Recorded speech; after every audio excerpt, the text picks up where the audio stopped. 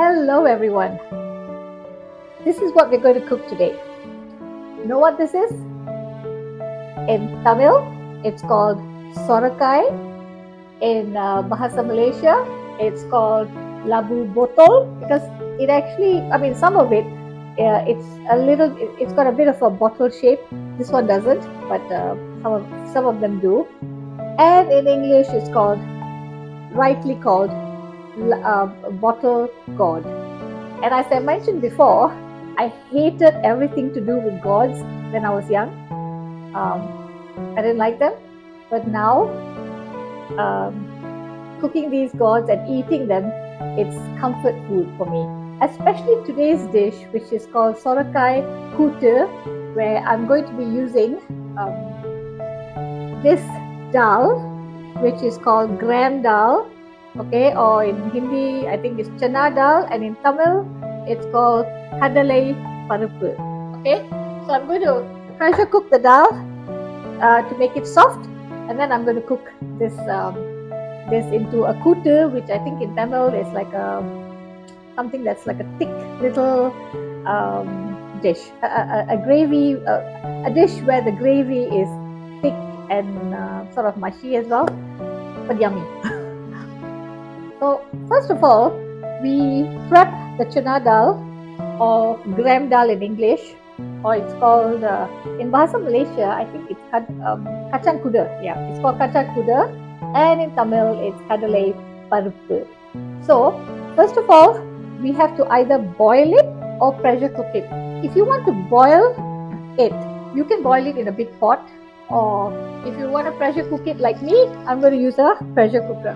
But before you do that step, you have to soak the gram in water.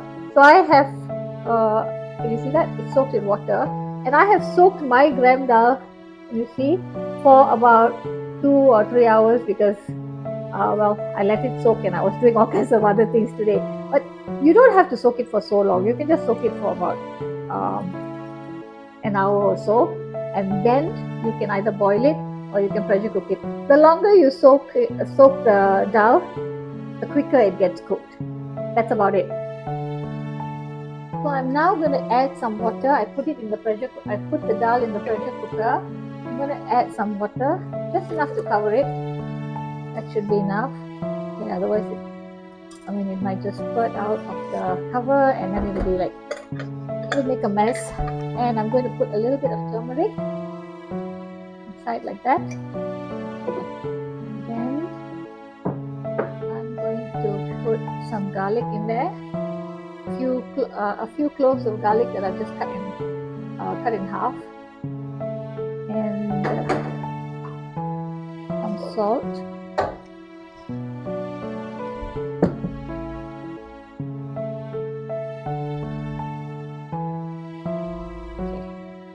Give it a stir also some oil. Just a little bit of oil. So that it kind of helps uh, um, helps in this whole process because it it, it ensures that uh, nothing uh, no liquids come out of this. Even though it's the weight is on it even though the weight is on it while it it uh, you know it comes out uh, due to the steam lots of dal will come out here as well. So I prefer, I like putting some oil so that it uh, it helps in that whole process. Cover it. Yeah, and I am not going to put this until. Remember, I mentioned that I will. I'm going to wait for the steam to escape, and then I will put this and wait for about two whistles.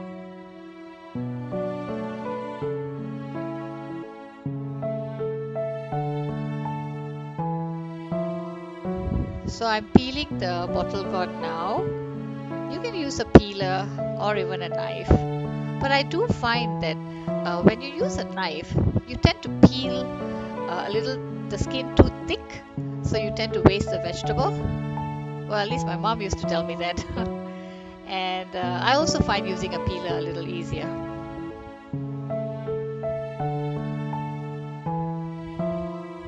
It's all what you want. It's, it's up to you what you want to do sometimes you you might feel that a knife is more comfortable. Sometimes you might feel that you know uh, a peeler is comfortable. And right under the skin, you notice that it's a little slimy. But all vegetables are different, aren't they? And when you but when you cook this vegetable, it doesn't feel uh, slimy, so it's fine. So now I'm slicing it into little circles, and then I'm putting them together and uh, cutting uh, the bottle gourd flesh into cubes, medium-sized cubes, because I find that quite uh, nice um, in a kootu. So that's the way I do it. But as I said, there's no hard and fast rules. it's all up to you how you want to cut it.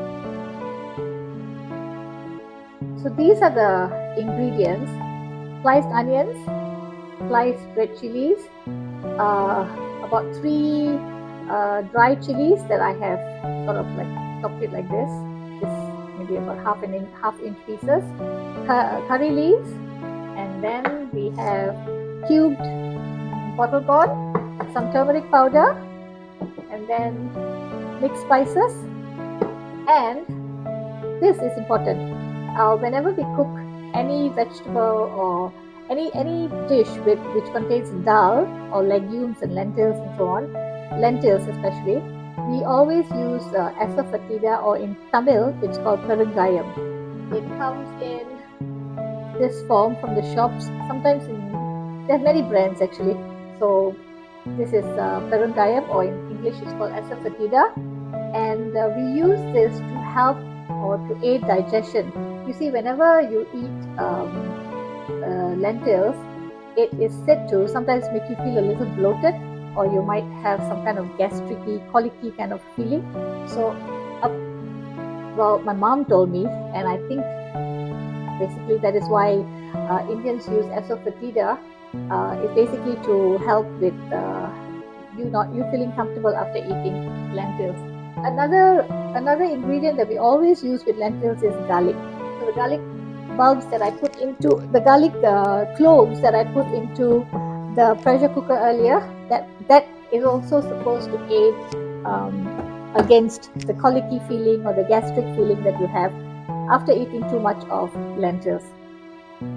So I put the pressure cooker on high heat and uh, remember I mentioned earlier that I would only put the weight when I see some steam escaping from this vent.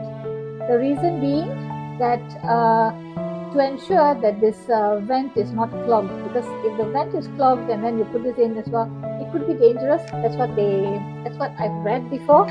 So i just wait for the steam to escape and then i put the weight onto onto the lid here and i wait for two whistles and then i take it off the heat and let it rest for a while. You know i often hear that indian food is uh, takes a lot of time, it involves a lot of steps and processes and so on. Yeah, well, maybe it does. But if you do some things a little ahead of time, it makes the whole uh, cooking process easier. So, what I do, like um, the dal, okay, that that is that is whistle number one. So after the second whistle, uh, just move it aside to the um, to to the to, to the area that's not uh, hot, and I'll turn off the the heat. Okay. Um, as I was talking, uh, as I, as I was mentioned, as I mentioned earlier, I boil I boil more dal most of the time, and then I just use the amount that is needed and freeze the the remainder dal. So that's one way of me always having dal before number two.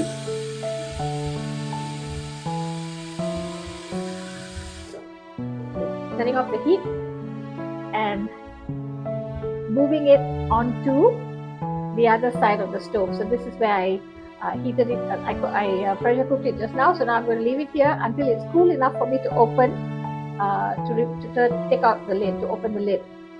So as I was saying earlier, I prep food ahead because I like Indian food, and when I cook Indian food, I make sure I have my ingredients sort of uh, semi done earlier or ahead of time.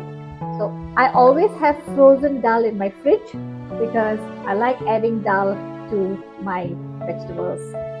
So just a quick digression. This is a packet of frozen dal. Okay, can you see that it's oh, it's a hard, uh, hard and frozen, and I've written here very mushy because it was way too mushy for my liking. So I just wanted to know that when I when I use it, so that I would use it in uh, recipes that needed dal that was very mushy. Okay, so this is how I prep ahead. So if I wanted to make a sambar or something, I could just take this out and I could chop my vegetables and add it in. So much easier than cooking or pressure cooking or you know whatever that you have to do um, just before you actually cook the dish that you want to make. So to see whether this is okay. So this is there's not much pressure coming out, so I've taken out the weight, and now I think it's cool enough for me to open it. Yes. Okay. So it doesn't look very cooked. Let me just check. I'm still kind of like learning how to make recipes using the pressure cooker. So I do admit that it's very, very fast. It's much faster than boiling. Now this is still a little, okay, that's okay, look at that. It's mushy already. So see, so I, this is ready to be used. If you want it cooked a little more, all you have to do is cook it with your, the other ingredients in your dish. So as I mentioned, I've taken out some of the dal here and I've left some in the pot. I boiled a little extra. I boiled about two cups of chana dal. Two, cu- two cups like this of chana dal. So you don't really, if you want to just make a little bit, you can just boil about half a cup. That's enough. Or pressure cook half a cup. So I've left some in here, and now I'm going to add some salt and some water. A little bit of water, and I'm going to add the. I'm going to add all the vegetables, the cubed sorakai or labu botol. Okay, and either you can uh, you can either cook it over over a stove just like this, or you can pressure cook it again. So if you cook it over a stove, it's uh, it just takes a little bit longer. But if you pressure cook it a little bit more uh, for maybe a, I think about one whistle, then the bottle gourd will be cooked, and this will be a little bit more mushy as well. I think I'm going to put it uh, leave it for about two whistles. So it's three whistles, not two. So I said two earlier, but I realized that uh, three whistles is a lot better. So um, food is the vegetables and the dal is cooked a little bit more. Um, just just a little diversion again.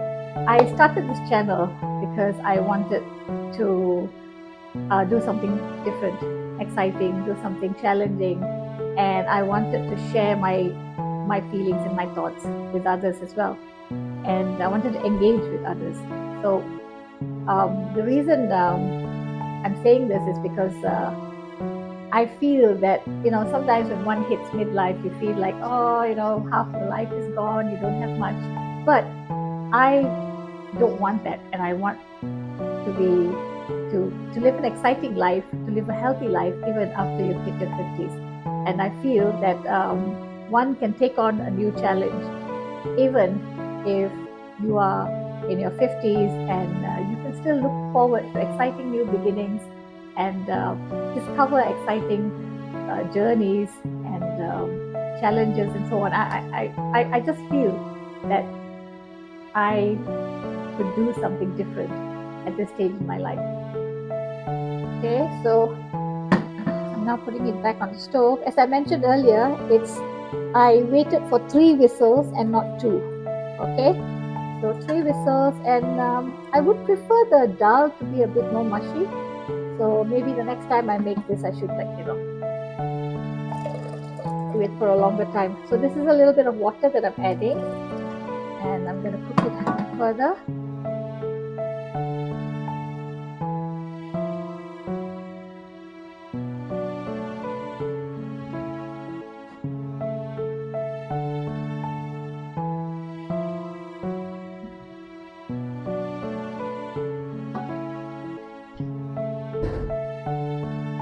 Add a little coconut milk as well. Okay.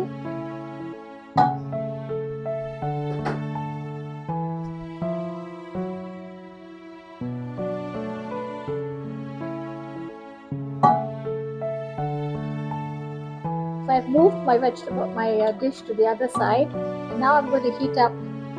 I'm going to make my tadika or the talipa. And for this, I need a bit of oil. You, you can add ghee if you wanted to. If you don't want to, you don't have to. So I'm going to add a little bit of ghee. And now, as it heats, I'm gonna put that my mixed spices some asafoetida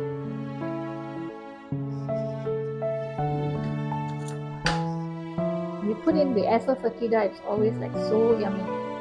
Smells so yummy. Okay now you can see that it's already beginning to brown and it's to start cracking.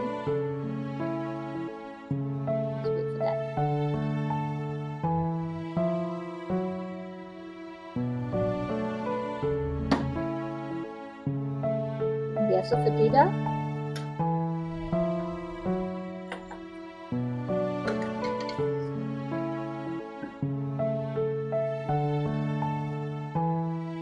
all these ingredients earlier, which I mentioned. The chilies, the onions, the curry leaves, and the dried chilies as well.